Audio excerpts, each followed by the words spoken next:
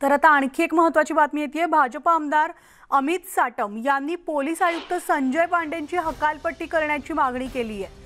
दोन दिवसांपूर्वीच भाजप आमदार अमित साटम यांनी मुंबई पोलीस आयुक्त संजय पांडे यांच्यावर विरोधकांवर हेतुपुरस्सर कारवाई करण्यासाठी त्यांची नेमणूक झाली असा आरोप केला होता.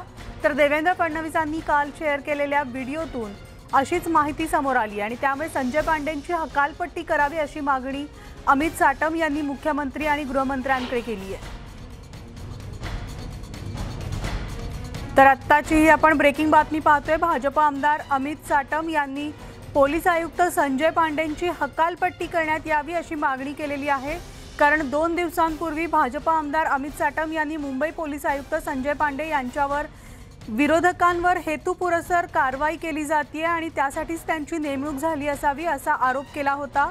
तर देवेंद्र फडणवीसांनी काल जो व्हिडिओ शेअर केलेला आहे काल जे पेन ड्राईव्ह त्यांनी सभागृहात दिले दा, दाखवलेला आहे त्यातून हे स्पष्ट होतंय की संजय पांडे हे खरं तर विरोधकांवर हेतुपुरस्पर कारवाई करतायत आणि त्यासाठी त्यांची हकालपट्टी करण्यात यावी अशी मागणी भाजप आमदार अमित साटम यांनी केली आहे. आणि त्यामुळे संजय पांडेंची हकालपट्टी करा. यासाठी अमित साटम यांनी मुख्यमंत्री आणि गृहमंत्र्याकडे मागणी केलेली आहे.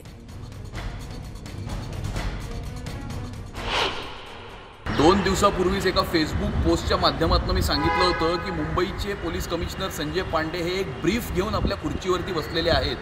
आणि विरोधी पक्षांच्या नेत्यांना टार्गेट करण्याचं ब्रीफ त्यांच्याकडे आहे. काल सायंकाळी महाराष्ट्राच्या विधानसभेमध्ये विरोधी पक्षनेते मान्य देवेंद्र फडणवीस साहेबांनी ज्या प्रकारचा एक्सपोजे केलेला आहे जे स्टिंग ऑपरेशन त्यांनी उघडकीस आणलेलं आहे त्याच्यामध्ये पब्लिक प्रॉसिक्युटर चव्हाण हे बोलताना त्याच्यामध्ये आढळत आहेत की पांडे एफ आय आर करतील पांडेंना त्याच्याच त्याच बोलीवरती या खुर्चीवरती बसवलेलं आहे. त्यामुळे मी जे दोन दिवसापूर्वी सांगितलेलं होतं ते काल हे प्रूव्ह झालेलं आहे. आणि त्यामुळे माझी महाराष्ट्राच्या मुख्यमंत्र्यांना आणि गृहमंत्र्यांना ही विनंती आहे की छत्रपती शिवाजी महाराजांच्या महाराष्ट्रात थोडी जरी लोकशाही राहिली असेल थोडं जरी न्यायाचं राज्य राहिलं असेल तर ताबडतोब संजय पांडे यांना घरी पाठवण्याचं काम त्यांनी करावं. आणि याविषयी आपण सविस्तर जाणून घेऊयात. आमची प्रतिनिधी प्रणाली कापसे आपल्यासोबत आहे. प्रणाली आपण पाहतोय की एकतर देवेंद्र फडणवीस यांनी पेनड्राईव्ह बॉम्ब जो काल समोर आणला होता या बॉम्बनंतर अनेक राजकीय वाद समोर येत आहेत. अनेक घडामोडी घडताना दिसत आहेत. आज भाजपचा मोर्चा आणि आता दुसरीकडे अमित साटम यांनी गृहमंत्री आणि मुख्यमंत्र्यांकडे पोलीस आयुक्त संजय पांडेंची हकालपट्टी करा अशी मागणी केली आहे.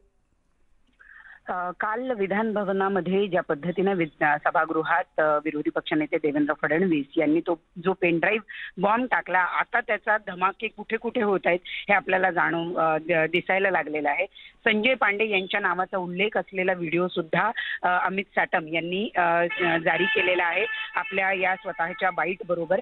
आपण जर बघितलं तर जो पब्लिक प्रॉसिक्युटर जे आहेत प्रवीण चव्हाण हे अनिल गोटे जे आमदार आहेत या व्हिडिओमध्ये जे दिसत आहे. या व्हिडिओची सत्यता अजून पडताळून पाहिली जाईल. पण तरी सुद्धा आता जो व्हिडिओ दिसतोय त्या व्हिडिओमध्ये अनिल गोटे आणि त्याचबरोबर प्रवीण चव्हाण जे सरकारी वकील आहेत त्यांचं एक संभाषण दिसून येतं. आणि त्या संभाषणामध्ये संजय पांडे यांना विरोधकांवर कारवाई करण्यासाठीच कशा पद्धतीनं बसवलंय याचा उल्लेख केला गेलेला आहे. आणि त्यामुळं आता अमित साटम यांनी दोन दिवसांपूर्वी जे आरोप केलेले होते त्यांचं म्हणणं आहे की या आरोपाला आता एक भक्कम पुरावा सुद्धा मिळालाय.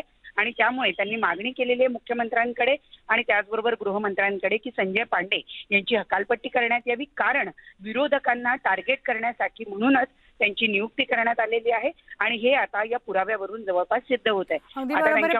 एकूणच आपण पाहिलं तर हे भाजपकडनं आता जोरदार आक्रमक स्वरूपात पाहायला मिळतात. महाविकास आघाडी सरकारवर त्यांची आक्रमक भूमिका आपल्याला पाहायला मिळते सविस्तर माहितीसाठी धन्यवाद. कारण फडणवीसांनी आरोप केल्यानंतर आशिष शेलारांनी सुद्धा आता ट्विटरवरून सरकारवर टीका केली आहे. लाव रे तो व्हिडिओ काय असतो ते विरोधी पक्षनेते देवेंद्र फडणवीस यांनी काल दाखवून दिलाय.